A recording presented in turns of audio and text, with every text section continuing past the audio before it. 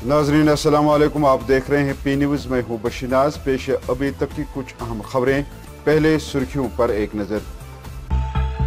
एक तिहाई आबादी प्रॉपर्टी टैक्स से मुस्तना सूबाई कमिश्नर की प्रेस कॉन्फ्रेंस। प्रॉपर्टी टैक्स के खिलाफ पीडीपी का एहतजाजी मार्च फैसले को वापस लेने की मांग। मनोज सिन्हा साहब की सोच क्या है? उन्होंने हमें बता दी बशारत बुखारी। यही फ़र्क होता है अवामी हुकूमत और सिलेक्टेड हुक्मरान के दरमियान तनवीर सादे। कमिश्नर म्यूनसिपल कॉरपोरेशन सरकार की बोली बोल रहा है सलमान सागर का इल्ज़ाम। कमिश्नर म्यूनसिपल कॉरपोरेशन की तैनाती गैर आईनी दानिश भट्ट का बड़ा बयान। अनंतनाग में सेब के सैकड़ों दरख्तों को काट डाला गया इलाके में तशवीश। पटन में अपनी पार्टी का अवामी जलसा सईद मोहम्मद अल्ताफ बुखारी का दुआदार खिताब। एनसी और पीडीपी ने राय शुमारी और सेल्फ रूल पर लोगों को गुमराह किया, गुलाम हसन मीर और मैं भी अपने बच्चों के लिए घर बनाना चाहता हूँ, बाप की इंतजामिया से फरियाद। अब खबरें तफसील के साथ। नाजरीन, यकम अप्रैल 2023 से लागू होने वाले प्रॉपर्टी टैक्स से मुतलिक पाए जाने वाले खदशात को दूर करते हुए सूबाई कमिश्नर बिदोरी ने हफ़्ते के रोज कहा कि जम्मू कश्मीर में प्रॉपर्टी टैक्स लोगों को बेहतर सहूलियात की फराहमी को यकीनी बनाने के लिए लगाया जा रहा है। Commissioner municipal corporation Athar Aamir Khan के हमरा प्रेस कॉन्फ्रेंस से खिताब करते हुए डिविजनल कमिश्नर ने वाजिया किया है कि जम्मू कश्मीर की एक तिहाई आबादी पहले ही प्रॉपर्टी टैक्स से मुस्तना है, क्योंकि उनकी जायदाद का रकबा एक हज़ार मुरबा फुट से कम है। और म्यूनसिपैलिटी अच्छे से सर्विसेज़ प्रोवाइड कर सके तो उसकी एक आय का एक साधन होता है प्रॉपर्टी टैक्स और ये एक तरह का प्रोग्रेसिव टैक्स होता है, जिसमें आप जो गरीब होता है मतलब आप, ऐसा नहीं लगते सब पे एक समान लगाते हो। जो गरीब होता है उस पर कम लगता है, और धीरे धीरे उसके हिसाब से बढ़ता है। सबसे पहले, जनाब, ये कोई नई चीज़ नहीं है, पूरे देश में लगती है, और जे के यूटी में सबसे लास्ट में लगाया जा रहा है। राम भवन ये तो आपको पता ही है, केवल अर्बन एरिया में ही है। रूरल एरिया में बिल्कुल भी नहीं है। दूसरा अर्बन एरिया में अगर कोई एग्रीकल्चर लैंड है, वो इससे बाहर है। तीसरा, जो हज़ार स्क्वायर फीट तक का जिसके पास अपना मकान है, वो इससे बाहर है। लगभग एक तिहाई से ज़्यादा जो हमारे हैं, वो इससे ऑलरेडी बाहर हो जाते हैं। फोर्थ पार्ट इसका जो आप देखोगे, अगर मान लो आपको किसी प्रॉपर्टी के लिए सौ रुपये देना होता है श्रीनगर म्यूनसिपल काउंसिल में कॉरपोरेशन में तो आपको जो काउंसिल में है वो सेवेंटी फाइव रुपी होगा उसके कॉरेस्पॉन्डिंग अगर कमेटी होगा तो केवल पचास रुपये होगा। तो जितना एक आदमी दूर दराज एरिया में रहता है, जो बेचारा अभी गरीब है, अपना मकान बनाया है तो वो उसमें ऑलरेडी एग्जम्प्टेड है, हज़ार स्क्वायर फीट तक ऑलरेडी एग्जम्प्टेड है। रेजिडेंशियल एरिया जो है, मान लो 1500 स्क्वायर फीट तक है तो वो सौ रुपए से लेके ग्यारह सौ पचास रुपए तक जाता मतलब मैक्सिमम अगर किसी का सर्कल रेट है। इसका किसी जगह पे अगर एक करोड़ है सर्कल रेट तो हम टेन ले लेते हैं लैंड वैल्यू फैक्टर किसी जगह पे अगर पाँच लाख है सर्कल रेट तो zero point five is the land value factor जो हम लेते हैं। उसको फिर मल्टीप्लाई करते हैं अलग अलग फैक्टर से, जिसमें यूजेज फैक्टर है, ये रेजिडेंशियल है या कमर्शियल है, किस तरीके का कमर्शियल है। ये इसका एज फैक्टर एक और फैक्टर है कि जितनी पुरानी बिल्डिंग है, उतना उस पर कम जो है टैक्स लगता है। उस तरीके से वो फैक्टर रखा गया है। पीडीपी के दर्जनों कारकुनों ने पार्टी तर्जमान, सुहेल बुखारी की क्यादत में पार्टी हेडक्वार्टर से लाल चौक की जानब एहतजाजी मार्च निकाला, लेकिन ट्रैफ़िक हेडक्वार्टर के करीब पुलिस के दस्ते ने उन्हें रोक दिया। इस मौके पर नामा निगारों से बात करते हुए बुखारी ने इल्ज़ाम लगाया कि हुकूमत जम्मू कश्मीर के लोगों को माशी तौर पर कमज़ोर करने की कोशिश कर रही है। उन्होंने कहा कि पहले सियासी हकूक छीने गए, फिर यहाँ जमहूरियत को दफन किया गया। उन्होंने हुकूमत से फैसला वापस लेने का मुतालबा किया है। है कि जम्मू कश्मीर के आवाम को पहले तो सियासी तौर पर डिसम्पावर किया गया और इकतसादी और माशी तौर से वो बहुत ख़राब हालत से गुजर रहे हैं पिछले चार पाँच साल से। हमारी जितनी सन्नतें हैं, जो नौकरियाँ हैं, वो नदारद हैं। और इस पस मंज़र में जबकि सरकार को हैंड होल्डिंग करनी चाहिए, किसी भी एडमिनिस्ट्रेशन को, अपने आवाम को स्टिमुलस देना चाहिए, उनकी मदद करनी चाहिए। ये नित नित नए ये तरीके ढूंढ रहे हैं कि यहाँ के आवाम को और कमज़ोर किया जाए, उनको कसम पुरसी की हालत में लाया जाए। इसीलिए नए ऑर्डर निकालते हैं हर रोज़ और ये प्रॉपर्टी टैक्स का ऑर्डर है, उसी की एक कड़ी है। पाँच अगस्त 2019 के बाद ही इन लोगों ने यहाँ पे देश से पहले ही, कोविड से पहले ही एक साल भर का लॉकडाउन लगाया। उसके बाद लॉकडाउन लगा। फिर हमारी हॉर्टिकल्चरल इंडस्ट्री से के साथ क्या हुआ? यहाँ के नौजवानों की नौकरी के साथ क्या हुआ? हमारे जो बिजनेसेस है, उनका क्या हुआ? यहाँ पे हम लोग एक कंस्ट्रक्शन बिज़नेस था, उसका क्या हुआ? सारे बिजनेसेस तो ख़त्म कर दिए। They literally have capitulated us और उसके बाद अब ये चाहते हैं कि प्रॉपर्टी टैक्स लगाएँ। क्या किसी भी तरीके का टैक्स कश्मीरी इस टाइम बर्दाश्त कर सकता है? मैं आपसे आप लोगों से ही मैं पूछ सकता हूँ। क्या मैं आप लोगों में यहाँ पे सारी आवाम से पूछता हूँ क्या कश्मीरी इस टाइम कोई भी टैक्स बर्दाश्त कर सकता है? नहीं, नहीं कर सकता। इधर पीपल्स कॉन्फ्रेंस के सीनियर लीडर और सबक वज़ीर बशारत बुखारी ने लेफ्टिनेंट गवर्नर के उस बयान पर सख्त रद्द अमल देते हुए कहा कि मनोज सिन्हा साहब की सोच क्या है उन्होंने हमें बता दी। बशारत बुखारी ने मजीद कहा कि जिस तरह से असम्बली को तहलील किया गया, उसी तरह से उनको म्यूनसिपल कॉरपोरेशन को तहलील करके सारा इंतज़ाम अपने हाथ में लेना चाहिए। सिन्हा साहब नाम है ना इनका? सिन्हा साहब ने क्लियर कर दी कि उन्होंने अपनी सोच क्या है हमको बता दी। यानी अब उनको ये भी बुरा लगता है कि हमारे मकान क्यों हैं, हमारे हम स्मार्टफ़ोन क्यों यूज़ करते हैं, हम अच्छा खाना क्यों खाते हैं, हम मेहनत करके अपना घर क्यों बनाते हैं मुझे लगता है इनको एक बात शायद और भूल गए वो शायद उनको ये कहना चाहता कि मैं खुश होता हूँ कि अगर कश्मीरी लोग या जम्मू कश्मीर को गरीब होते। मनोज सिन्हा साहब, यहाँ लोग मेहनत कश हैं और मुसीबतों से निकल कर अपना घर और पेट पालते हैं। लेकिन आपका बड़ा शुक्रगुजार हूँ मैं। आपने, आपकी सोच की पर्दाख्त क्या है? आपकी सोच की बहबूद क्या है? बुनियाद क्या है? आपने बता दी। आपका बहुत बहुत शुक्रिया। नेशनल कॉन्फ्रेंस के तर्जमान तनवीर सादिक ने भी लेफ्टिनेंट गवर्नर के बयान पर तनकीद करते हुए कहा कि यह फ़र्क होता है कि एक अवामी हुकूमत और सिलेक्टेड हुक्मरान के दरमियान।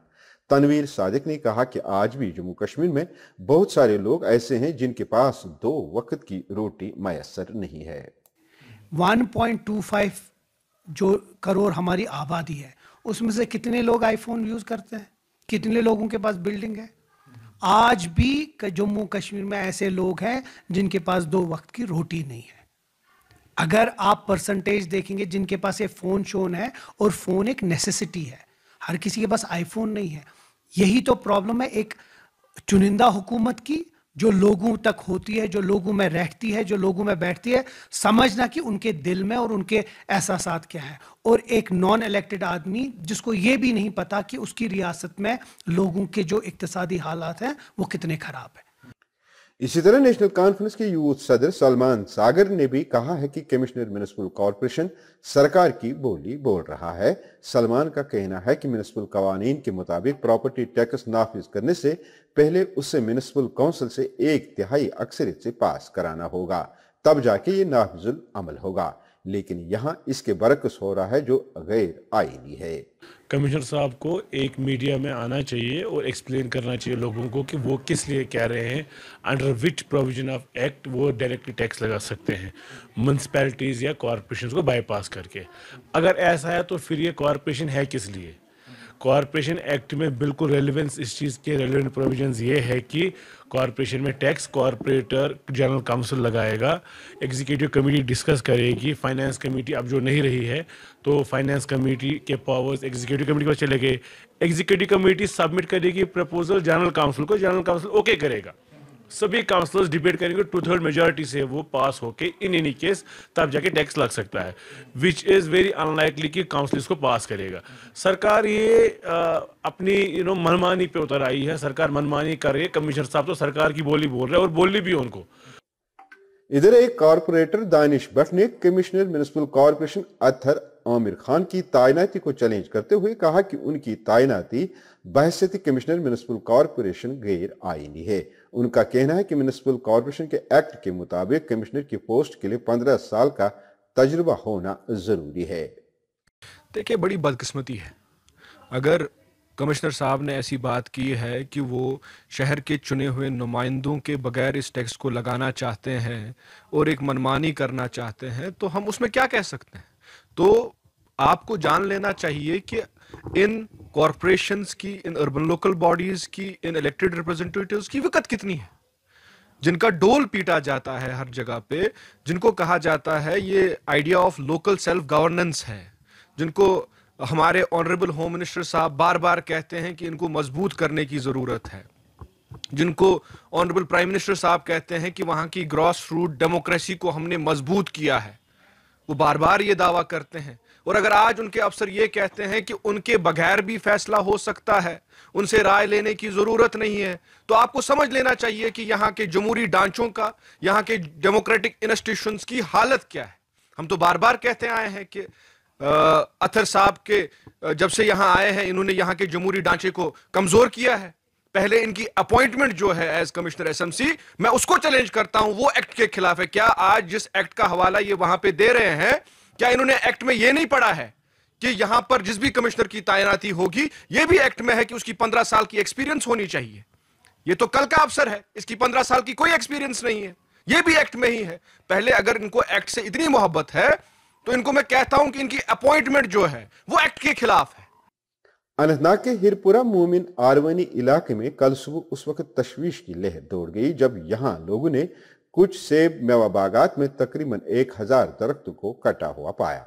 मकामी बाशिंदों ने बताया कि हिरपुरा मोमिन आरवनी में नामालूम शरपसंदों ने इलाके के सेब मेवा बागात में से 500 से जायद सेब के दरख्तों को काट दिया, जबकि कई दीगर दरख्तों की शाखें काट दी गई हैं।